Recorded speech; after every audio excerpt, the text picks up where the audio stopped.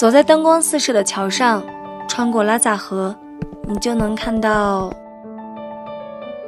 广场是由多个民族的代表乐器围成的一个圈，这些乐器是有生命的，它们像石榴子一样紧紧围绕，相互依靠。音乐起了，来跳锅庄。不太会跳的话，那就跟在舞技精湛的大叔后面吧。这么远的距离还能看得见布达拉宫，在曜石黑的夜晚月牙光。去广场跳跳舞，上桥上吹吹风，夏季消暑拿捏住了。抖音。